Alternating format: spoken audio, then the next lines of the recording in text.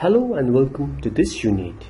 In this unit, we will work with various tools such as Magic Wand tool, Knife tool, Scissor tool, Eraser tool, and Lasso tool. Knife tool.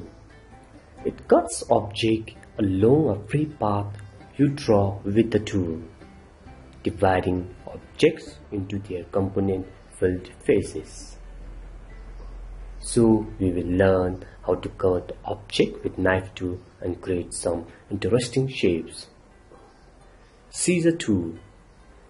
Scissor tool splits apart graphics frame or empty text frame at an, at an anchor point or along a segment.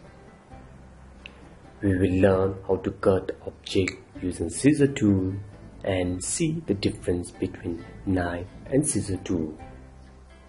And at the end of the lesson, you will understand that knife and scissor tool serve the same purpose but in different ways.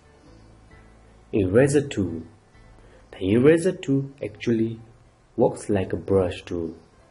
One way to use eraser tool is by simply simply cutting a hole in one or more selected objects.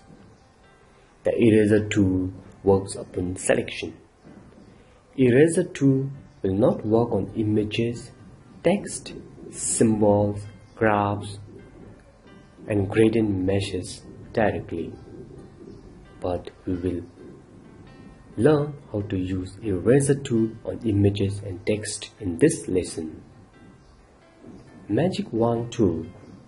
The Magic Wand tool works by selecting objects within your file that have same attributes as the one you first click. Lasso tool. With lasso tool, you can select objects by freehand. This can be quicker than using selection tool and holding shift. So let's get started with this lesson.